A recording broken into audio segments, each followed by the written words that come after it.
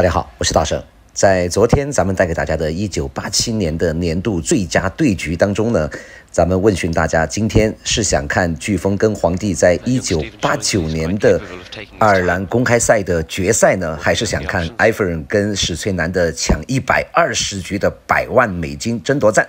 但是呢，几乎所有的球迷一边倒啊，都选择想看这场八九年的爱尔兰决赛。好的，今天咱们就把这场一九八九年的爱尔兰斯诺克公开赛的决赛，飓风对皇帝的这场比赛的完整版带给大家。我开场之后呢，这是双方的第一局，当然咱们也给大家做了一些精简，让大家看到最精彩的比赛的画面。而皇帝呢，没有选择右侧那那颗可以进攻的红球，而是选择了解球，但是这一杆漏了中袋。咱们看飓风上来，先甩一杆，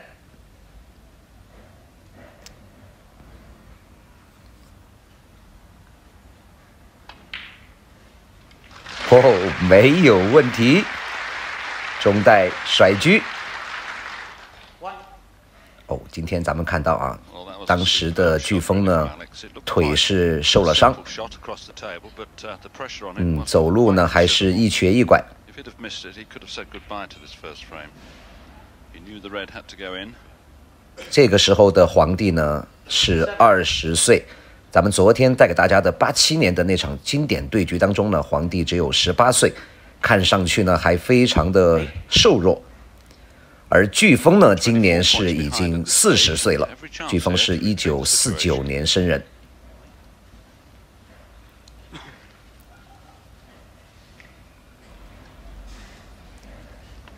还习惯性的往手上吐了一口唾沫。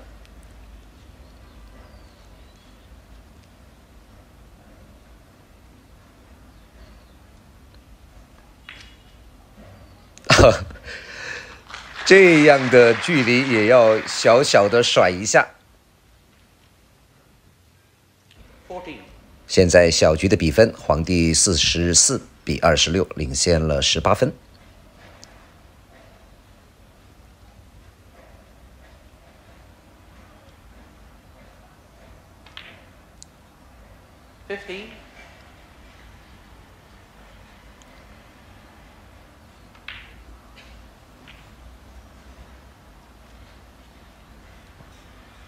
哦，看着飓风。一瘸一拐的走路，咱们真是感觉心疼。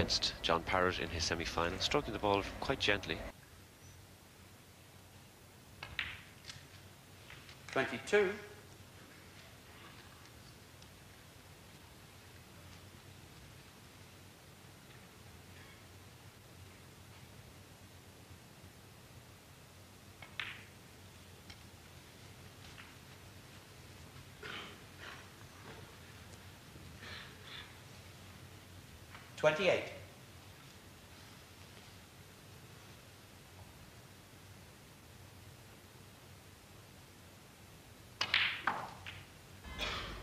Twenty-nine.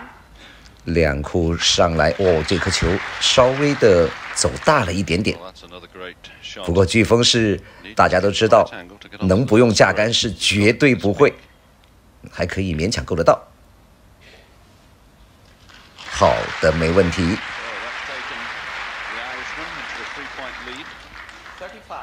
能否单局大逆转？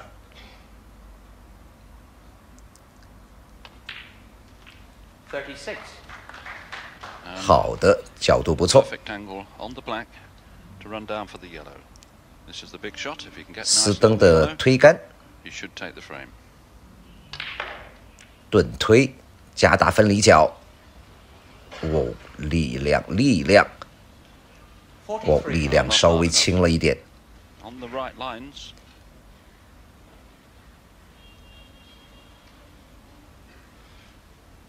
不过现在比分已经反超了，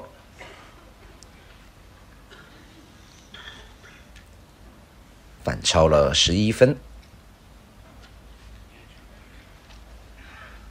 嗯，这颗球应该是要做防守了。 Once again, Alex asking for the cue ball to be cleaned. 11 points ahead in this opening frame. Needing up to and including the brown to put him 20 points ahead at least. But a good safety shot coming up here. 哦，力量轻了一点，如果再有一点低杆的效果拉回来， 43. 会更好。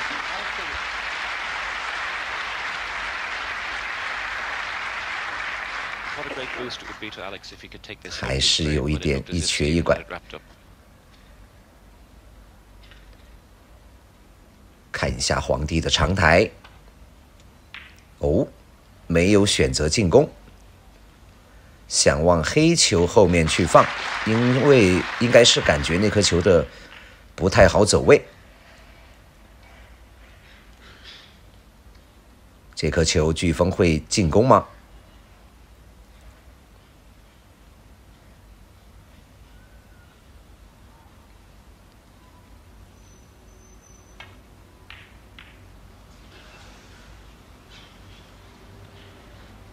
飓风呢是比皇帝大了整整的二十岁，而这个时候的皇帝呢，正好是马上就要到他的巅峰的时刻。大家都知道，从一九九零年，也就是这场比赛过后的漂亮、精准的黄球进攻，也就是这场比赛之后的第二年，皇帝就在克鲁斯堡封王。拉开了自己的统治时代。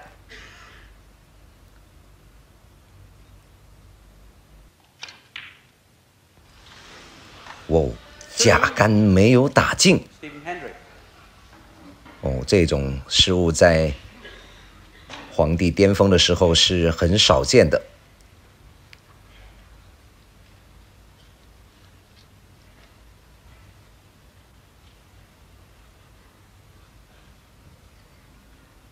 刚才咱们也看到飓风得空又在下面抽了两口啊习惯性的舔了舔手掌。这个也是飓风的标志性的动作之一。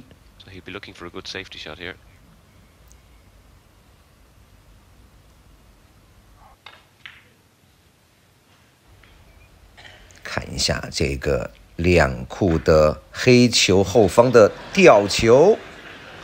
力量稍微的轻了一点点，线路是抓的非常的准。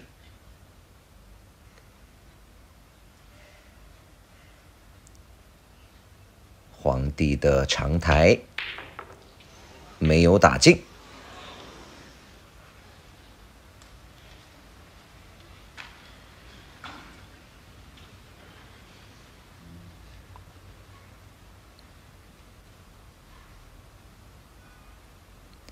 再来甩他一杆，没有选择进攻，而是两库、三库之后放咖啡的后面，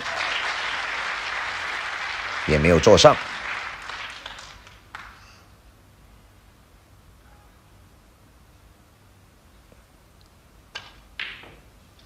哦，还有的单下，但是哦，运气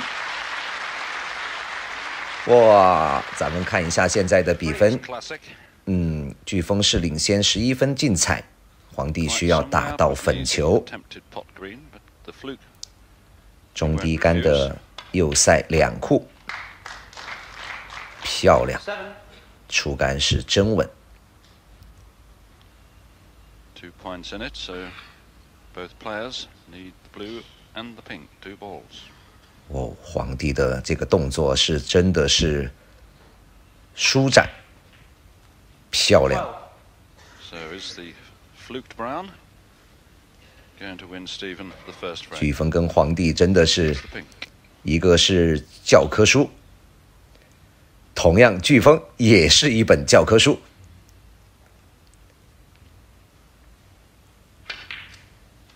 哦，漂亮！第一局皇帝戏剧的拿下。那么也请大家在评论区预测一下，最终爱尔兰的这次冠军谁会最终的获得？谢谢大家观看，明天咱们带给大家第二集。